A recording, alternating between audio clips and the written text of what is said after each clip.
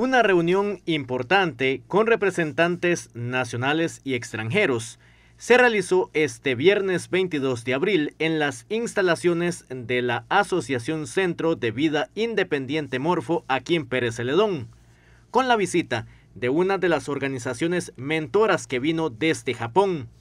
De los compañeros de la Asociación Centro Independiente Mainstream de Japón, que han sido siempre nuestros mentores, ¿verdad? Y nuestra contraparte en Japón.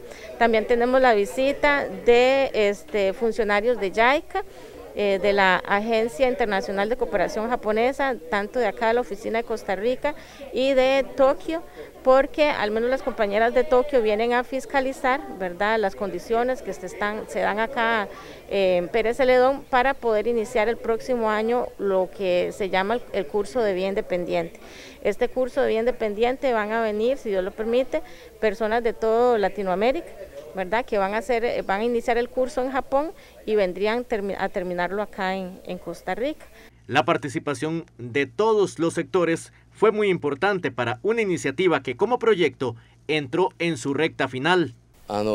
Nosotros tenemos esquema de cooperación internacional conjunto a Agencia de Cooperación Internacional de JICA hace 10 años. Este año es último año de esa cooperación.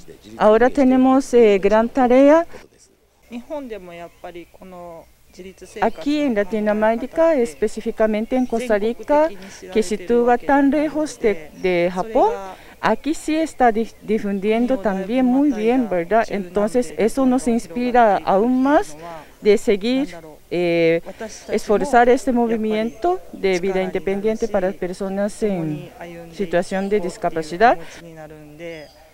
Yo puedo enfocar este, como Aquí en Pérez Celedón es un pueblo no tan grande, es, además no es centro de un país, es como alejados, pero en realidad este, su experiencia puede replicar primero dentro de Costa Rica o de, los países vecinos y también a nivel mundial.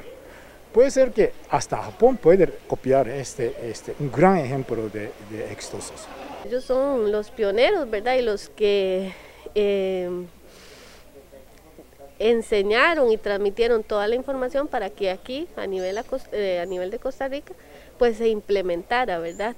Y empezáramos a pues hacer todas las capacitaciones a nivel nacional y, a incentivar, a capacitar, a, a, fomentar, ¿verdad? Lo que es el, el programa de Centro de Vida Independiente. Gracias al plan piloto que se inició hace ya un poquito más de 10 años, este, surgió la ley 9379, que es la ley de autonomía y vida independiente. Esto vino a cambiar el rol de las personas con discapacidad en la inserción social, porque se les garantizaban derechos de los cuales todos quizás teníamos, pero ellos se invisibilizaban. Por ejemplo, el tema del asistente.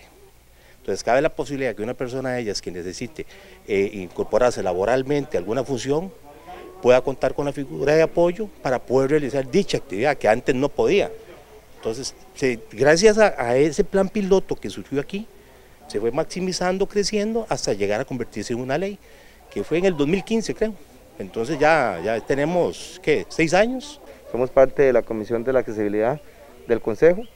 Hemos venido a ver en qué podemos servirles, ¿verdad? En qué podemos trabajar con ellos. Nosotros sentimos que que esta comunidad es muy importante, no solo la comunidad existente local, sino en vistas a una futura forma de, actividad económica como es el turismo. ¿verdad? La primera fase constó del 2012 al 2017 y gracias a, a, ese éxito que tuvimos se prorrogó cinco años más, era del 2017 al 2022 eh, que por motivos de la pandemia se extendió hasta el 2023. Entonces, cuando se cierra el proyecto, eh, que va a ser en abril del próximo año, ya significa que nosotros no vamos a recibir ningún apoyo económico del proyecto. En estos momentos, aunque el proyecto ha sido más técnico, de asesorías, eh, talleres y todo esto, ellos sí nos apoyaban con una parte de los recursos, ¿verdad?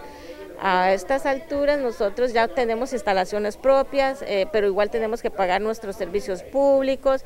La mayoría, todos los servicios que nosotros damos acá son gratis, ¿verdad? Para, para las personas en situación de discapacidad, sus familias y cualquier persona que venga. Y tenemos ese reto muy, muy grande de ser autosostenibles. Hay que destacar que Morfo se convirtió en un proyecto ejemplo en el país y que se puede destacar en cualquier parte del mundo.